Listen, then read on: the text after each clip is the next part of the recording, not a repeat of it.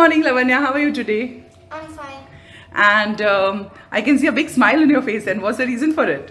I made a new creative bot, Oh wow! And what's that? A bake bot. Bake bot. Oh, I'm already hungry. Can it make? Can it bake cakes or cookies? Yeah. Oh wow! And can you just show us how does it work? Wow! And that's a brilliant thing. So what's that? What function did it do? Uh, uh, this uh, pushes all the ingredients in, Okay. and then uh, this whisks, Okay. and this scoops all the batter out. Okay. Oh, ready to put it in the mold and Yeah. then it can go in the oven for baking. Yeah.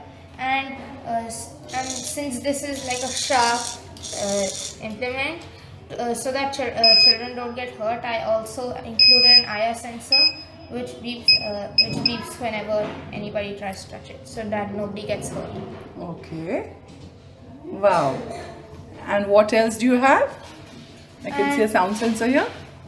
Uh, this sound sensor makes sure that what whatever it's doing stops immediately. Oh, uh, it's kind of a kill switch. Yeah. Okay, yeah. So to be on the safer side, saving bot from uh, getting yeah distracted. Okay, wow, superb. That's excellent. I'll just take a top view of this. So this is your tray. This is where it just grinds them all, and this is okay. Can we see the working again? I'm I'm in really falling in love with this board. This is so nice. Okay, then we go. Very nice. And then scooping up and putting it in the cupcake. Wow.